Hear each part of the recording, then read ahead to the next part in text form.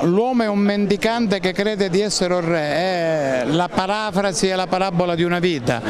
La mia vita da Presidente della Regione che è stata una vita eh, in cui ero all'attenzione delle persone, eh, circondato da affetto, da stima, da servizi, è una vita da detenuto che diventa mendicante eh, tra la miseria, la povertà, la sofferenza e il dolore. E però, eh, come mi ha ricordato un mio amico detenuto orgastolano, anche la vita in carcere, una vita che merita di essere vissuta perché la vita si alimenta vivendola e le si dà valore offrendola e donandola alla gente. Io in carcere, in un mondo difficile, ho trovato tante persone che hanno avuto la forza e il coraggio di donarmi il loro amore, la loro umanità e anche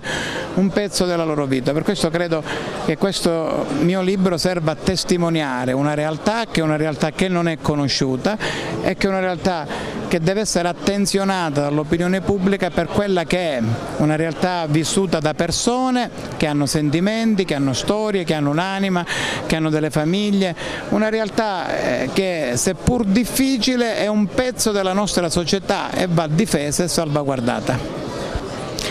Ma sono lo stesso di sempre, nel senso che, che mi piace vivere, mi piace stare in mezzo alla gente, abbracciare che, che, si commuove quando tante persone lo abbracciano e ti ricordano una storia, un avvenimento, un'occasione. È una persona che però ha fatto 5 anni di carcere, che ha maturato la possibilità di poter parlare con se stesso e con la propria anima che mai era riuscito a fare prima perché non aveva trovato il tempo e forse non aveva avuto il modo di cercarlo questo tempo ed è una persona che vive nella consapevolezza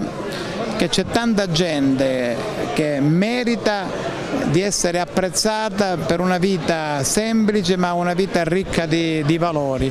Ed è quello che credo manchi oggi alla politica, una politica disattenta che piuttosto che